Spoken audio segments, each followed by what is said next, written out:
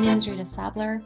I'm an urban sketcher, visual journalist, educator, and a musician. I have taught urban sketching and visual journalism courses for the last eight years. My passion for urban sketching started at the very first USK Symposium, which took place in the city where I live, Portland, Oregon. I recently started working as a visual journalist for Oregon Public Broadcasting. In my work, I get to draw with the purpose of telling a story about the place and the events that I'm witnessing. I'm bringing a workshop called Visual Storytelling for Urban Sketchers to the symposium in Buenos Aires. Telling stories is how humans have communicated and passed on their knowledge since the beginning of time. And storytelling lies at the foundation of what urban sketching is all about. Yet many of us are not sure how to make our drawings feel less like postcards and start to transmit the essence of a place and what we're witnessing in front of us.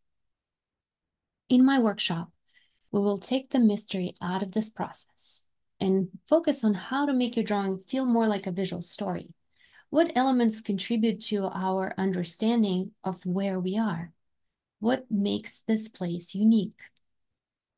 I will explain how to pick the protagonist and what choices we need to make when it comes to showing the key action.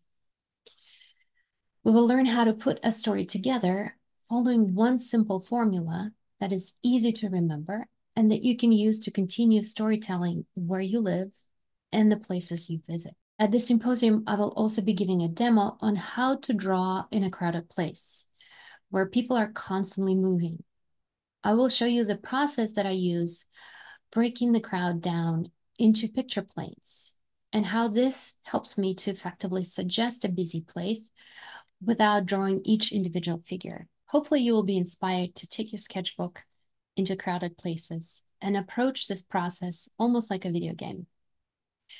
Finally, if you're interested in teaching urban sketching, I will be sharing my tips on how to be an effective instructor. I will talk about what I've learned in my eight years of teaching urban sketching, working with different ages, skills levels, and inspiring people of all walks of life on how to make drawing part of their everyday life. See you in Buenos Aires.